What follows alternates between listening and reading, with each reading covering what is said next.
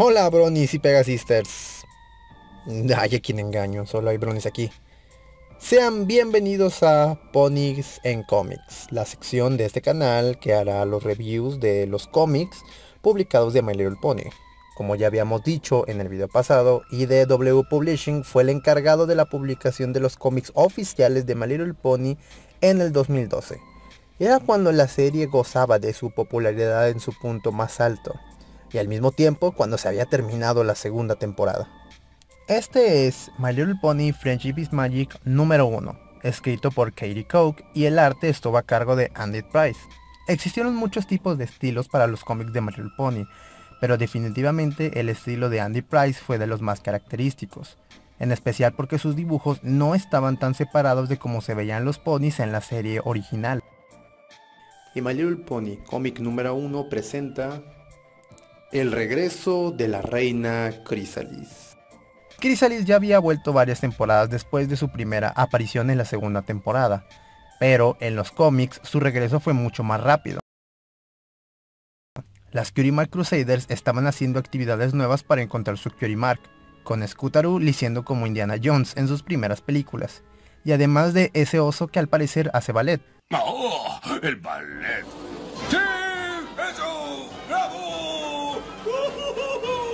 Sin embargo, los animales se comportan raro de repente y algo terrible ocurre.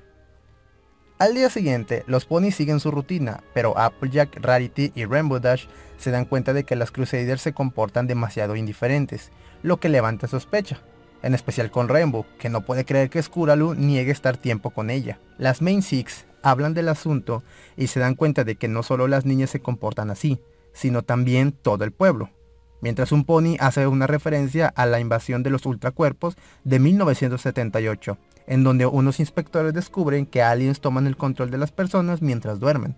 Las chicas deciden refugiarse en la biblioteca y, analizando la situación, piensan que todos actúan como si hubieran sido reemplazados, al igual que hacen los Changelings.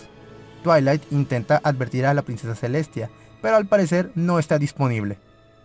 Vaya, hasta puede salir gosteado en Ecuestria. Al querer salir para averiguar qué pasa, ellas deciden fingir ser Changeling para despistarlo, pero rápidamente son descubiertas, una vez que llegan hasta la alcaldía y pelean contra los Changelings. Medio segundo después. ¿Cómo te atreves a golpear a mis amigas? Eres un malo. Tus amigos y tú deberían volver a sus casas. Ahora mismo.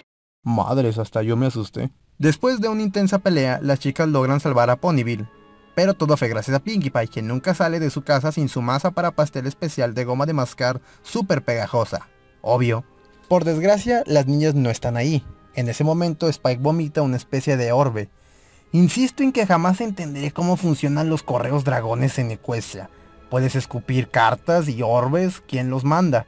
¿Cómo puedes decidir al dragón si va a recibir o no recibir? Ay, olvídenlo. Del orbe se observa la imagen de alguien. ¿Una princesa? Pregunta Twilight. No, una reina, dice la voz que resulta ser Chrysalis. Mal arreglada, queso suizo, mula. Oye.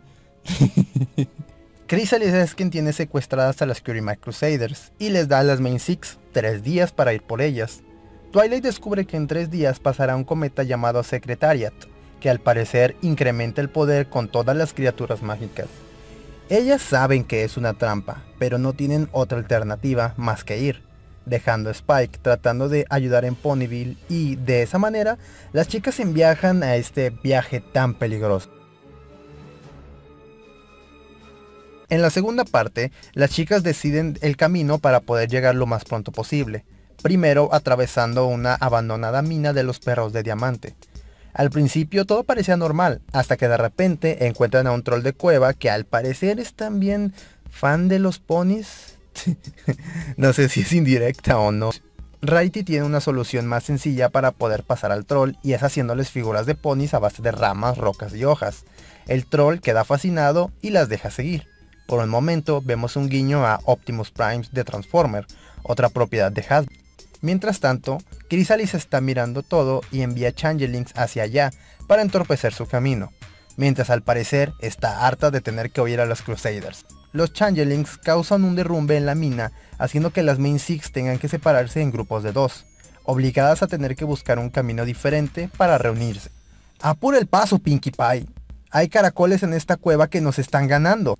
Apuesto a que los caracoles son tan lentos porque sus caparazones son muy pesados. Si tuvieran globos atados serían mucho más rápidos.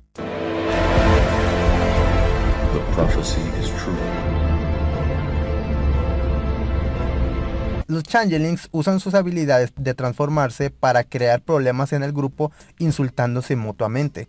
Hay que recordar que los changelings no solo son capaces de tomar la forma de alguien, sino también sus voces. Pero justo cuando estaban discutiendo, son interrumpidas por una tarántula gigante y sus amigos, quien por desgracia no son nada amigables. Las chicas no pueden hacer mucho contra esos insectos, ni siquiera Twilight usando su magia. Ah, qué tiempos cuando Twilight no era una princesa. Pinkie Pie decide ir por el troll de cueva al que ella misma llama Jim, que la salva del apuro. Una vez afuera de la cueva, Applejack no está muy contenta de todo lo que tuvieron que pasar, cuestionando a Twilight sobre sus decisiones. Después de mucha discusión y pelea, Applejack y Rarity deciden irse por su cuenta, al igual que Twilight junto con Fluttershy, dejando a Rainbow Dash sin más opción que quedarse con Pinkie Pie, cada una de ellas en destino incierto debido a los múltiples peligros que hay en Equestria. Y continuará. Como ven, este arco es bastante entretenido, incluso pudo haber sido un buen final de temporada, pero era demasiado pronto para traer a Chrysalis de regreso tan rápido, además de que, en ese entonces, ya se tenían los planes decididos para la tercera temporada. Ya saben, Rey Sombra y Twilight Princesa, y además el proyecto que era Equestria Girls. Así que para hacer el primer cómic y el primer arco en cómic yo siento que está muy bien hecho. Además del apartado artístico que en mi opinión es bastante bueno sin necesidad de ser una calca exacta de lo que se veía en la televisión. Y eso vendría siendo todo. Estén atentos y no olvides suscribirte al canal para no perderte el desenlace de esta historia. Y puedes unirte a mi servidor en Discord para teorizar por qué los caracoles van muy lento. Rocas viejas. ¿Y este sujeto? Dile hola al señor Huesos. Hasta la verga, pinche perro.